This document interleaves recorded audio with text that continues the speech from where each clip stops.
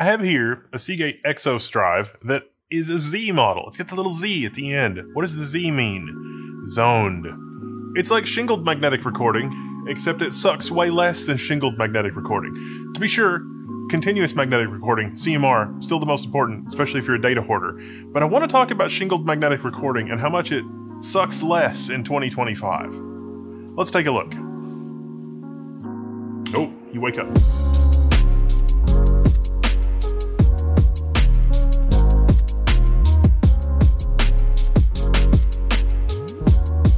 Did a video about SAS Flash, serial attached SCSI. It's different than SATA. It looks like a SATA connector sometimes, sometimes not. And it's not NVMe, but you can pack a lot into a system. This is a little ITX system that's got two X8 slots. It's a bifurcation cable that's doing that. And I've got an LSI 9316i SAS controller in here, which will let me connect up to 16 disks. And I've got various kinds of flash disks here that are, you know, one, two, four, eight terabytes because that's enterprise surplus.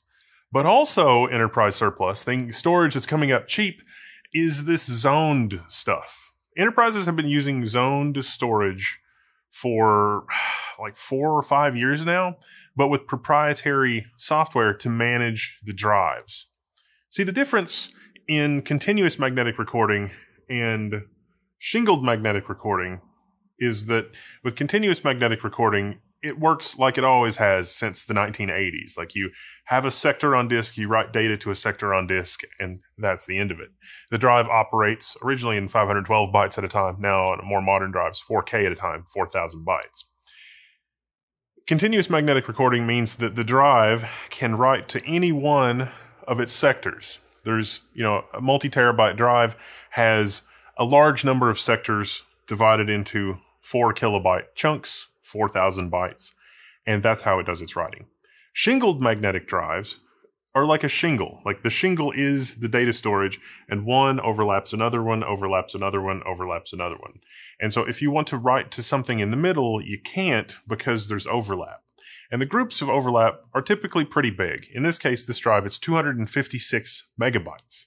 So if I want to change just a few bytes inside a 256 megabyte cluster, what I have to do is read in that whole cluster, write it somewhere else, and change the thing that I want to change in the new cluster and then mark the old one as free, or read in the entire thing, make the little change that I want, and then write out the whole thing and call it a day.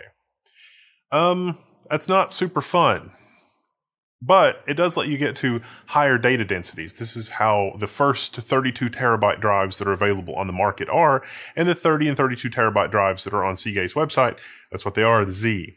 And there's there's two kinds of shingled magnetic recording: drive managed and host managed. There was um, some fire and brimstone a few years ago when Drive managed shingled magnetic recording came out because the Drive sort of does the juggling to make it seem like it can still write in four kilobyte chunks, but it actually can't. And so it runs out of buffer really quickly when you have a lot of random writes. It doesn't behave well. I mean, mechanical hard drives aren't all that fast for random writing in the first place or random reading for that matter.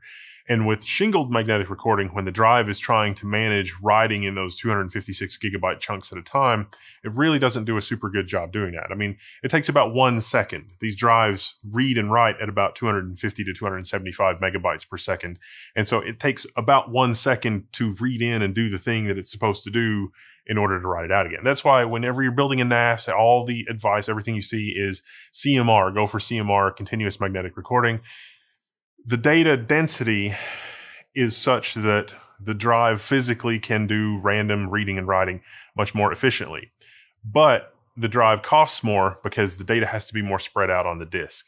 With this shingling approach, you can pack in more data because the data is physically close together. But the, the trade off is that you have to rewrite so much of it at a time if you just want to change one little piece of it. Now, most of your NASs are really not doing a lot of random writing. I mean, if you're running virtual machines and things like that, it's worth setting up another volume, even if it's just with small SSDs versus running that on mechanical storage for data hoarding and uh, media, you're not really rewriting that a lot. At least I hope you're not. I hope you're building archives that last for years and decades. And for that use case, these are pretty good. These are made for the enterprise to, you know, store backups and archives and things like that. And so it's like, let's write 500 gigabytes to the drive. Let's erase 500 gigabytes from the drive. Let's write a terabyte to the drive. Let's erase a terabyte from the drive. And these shingled magnetic recording drives generally are okay for that. Now, when the drive is managing its shingling, the drive doesn't really have a lot of computational horsepower and it leaves a lot to be desired. And I think that's still true. This option is host managed. These Z series drives mean that it's still shingling, but it says that the host has to manage that.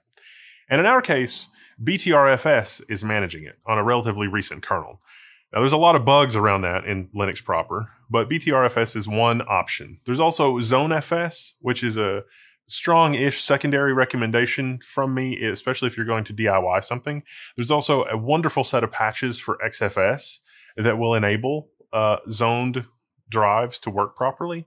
But in this case, we're just running BTRFS. And I'm only running it on a single drive because I only have a single drive. I want to do a video on this and sort of, you know, gauge your engagement to say, hey, uh, what do you think about these? These have started to pop up on eBay and the surplus market, and deal hounds and everybody like that may be tempted that at the end of the rainbow is a lot of cheap, and inexpensive storage. And that is true, but there are also a lot of gotchas. But I also was surprised that this wasn't unusable. I was expecting it to be basically unusable, and it's not actually unusable. There are a lot of unusable scenarios, like RAID actually even is a little dicey. I think BTRFS RAID 1 works properly at this point, but I'm not even sure about that because I don't have a second zoned drive to fully confirm that. I'd like to. I'm pretty sure that it'll work though, at least in 2025. On older kernels and things like that, maybe not. But like RAID 5, not a great idea. You can run, uh, there's a disk mapper thing for Linux, and you can make this drive appear like it's a normal uh, non zoned drive, and then that makes it work with Linux MD.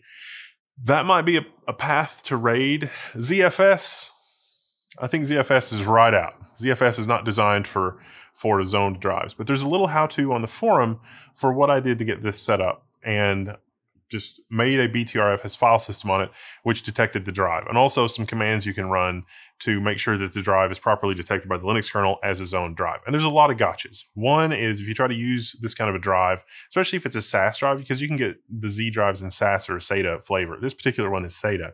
If you get a SAS drive and you use it with a SAS controller, it doesn't always work through the controller. This LSI 9316i needs a relatively recent firmware in order for it to work. Otherwise, the drive is not detected properly. It's just detected as a generic SCSI device. Most motherboards, like motherboard SATA, it'll work okay with that. So that's good. But that wasn't the case even a couple of years ago, like two, three years ago. It was very hard to get, you know, the hardware plumbing, the hardware path for uh, zoned drives to work and be detected properly. Windows doesn't really detect the drive. You can't really use or do anything with the drive. Um, sometimes you get these drives and they're completely blank. And in that case, you have to use some low level SCSI generics, some SG commands in order to initialize the drives because the drive will report that it has zero byte zones. In this case, this drive reports that it has like 700,000, 250 megabyte zones and each zone has to be rewritten. So the operating system has some visibility into the size and location of the shingles. Now for reading, it's fine. You don't have to read 256 megabytes in at a time. And in fact, when you have good shingled support, I've also included FIO, which is a benchmarking utility for the mounted file system, BTRFS, and the performance there. And I'm actually shocked at how good the read and write IOPS are because the areal density is a little higher than a continuous magnetic recording drive.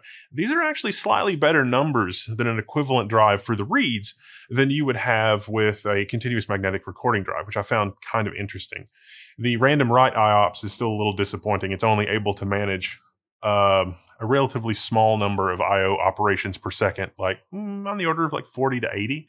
And if you have very small IO operations, it's going to be even less. But when we're talking about media, where you're storing recordings and movies, TV shows, whatever, and they're you know on the order of a gigabyte each, and it's mostly archival, you're mostly doing reads. This is fantastic. This is great. This is exactly what you need. These the the IOPS here is fine. The data density is fine. You just need a mechanism that will let you take a pool of 4, 8, 16, 20 of these and turn it into a large storage pool. I'm here to tell you that that's not here yet. If you wanted to have a pool of, uh, you know, like two, a RAID 1 of zoned magnetic drives, I think that would be reasonable. Even if BTRFS RAID 1 doesn't work correctly, uh, we can hack together a script that will keep two drives in sync. Um, and I think Unraid will probably support this. So maybe that's something that I'll dig into in a in a video that's coming. I'm not a bit bashful about hacking on Unraid. I certainly wouldn't be the first time that I've done that, and so I think we could hack in whatever we need to get reasonable performance from zoned drives out of Unraid if it's not there. But I got to get my hands on some more some more zoned disks. So I may get uh, may get creative with that. May partner up with server part deals. We'll see. Server Part Deals definitely has some really good deals right now on flash storage. You should check them out for sure. Uh, just for fun because then you can, you know, if you're dealing with flash, you don't have to deal with all this nonsense. That's sort of insane. But, you know, two drives, relatively low power, 20 terabytes of storage for media is nothing to sneeze at. That's, quite good. So yeah, I'm surprised that it works as well as it does. There are still a lot of gotchas. There's still a lot of caveats, but there is starting to be a little bit of gold at the end of the rainbow if, you know, the drive is not significantly cheaper than a CMR equivalent, always go for the CMR equivalent. The, the, the, continuous magnetic recording drive is going to be way less headache, way easier to get working. And if you're, unless you're masochistic, just go for the continuous magnetic recording drive. But it works. I'm surprised at how well it works with BTRFS. I filled up the drive all the way, 20 terabytes full. The only thing weird that these drives do sometimes is when they start to get full, the last 500 gigabytes or so, the drive will slow way down. It'll it'll slow down to about 15 megabytes per second read and write, and that is because the drive is juggling uh, garbage collection and, and, a lot of other things because it's very very full. Or BTRFS is doing that. In fact, in our case, the BTRFS system logs will print messages telling you that it's like it's consolidating metadata or it had a bunch of rewrites and it journaled them here and it's working backward from the journal to update the actual blocks on disk. So BTRFS has quite a lot of changes under the hood in order to support this use case for host managed uh, drives, host managed zoned drives. Um, and I think it's sort of interesting that they're, they're moving away from the shingling terminology because everybody's experiences with the first generation shingling drives, which again, the drive tries to manage the shingling and takes the control out of the operating system. That is still an objectively worse experience than this. I mean, the zoning thing is basically the same. It's just that it's now handled by your operating system, systems, handled by the Linux kernel, which is far more sane and leads to a far less awful result for you, the end user, than letting that be managed by the drive. And so this was actually a pretty reasonable result. And the guide, the how to, will walk you through the setup if you are interested in being on the bleeding edge or helping debug this or helping make a suitable RAID system that can handle 5, 8, 10, 20 of these zoned drives. Now, uh, the other difference with these being host managed is that you cannot use them unless your software is explicitly built to support zoned drives. So again, there's another caution. You can't use it with a, uh, a SAS controller that doesn't know about them. You can't use it with software that doesn't know about them. You literally have to have everything plumbed in. Theoretically, the Linux kernel supported this since version 5, but I'll tell you, as a practical matter, it hasn't really. It's really been like the last years or so of uh, versions of uh, kernel 6 and also relatively recent drive firmware because a lot of drives that these were set up for were designed for appliances and they were really only bug tested for the appliances because the margins have been razor thin in mechanical hard drive, the mechanical hard drive industry for a long time. And so even the host managed zoned drives that worked were kind of purpose built for like one thing. But generally in 2025, that's not quite as true as it was. So these are my findings from having worked on a zoned magnetic drive, Seagate Exos to be specific. But if you got the hookup on more zoned drives, especially more recent zoned drives, and you want me to do more testing or plugging in or setting up or how to or whatever, let me know. But I'm here to tell you, this was surprisingly serviceable. You could get it done, especially if you can get a deal on these and you're willing to jump through the hoops that I've outlined. I'm Wendell, this is level one. If you want more info, it's on the forum. I'm hanging out on the forum if you have any questions. I'm signing out, and I'll see you there.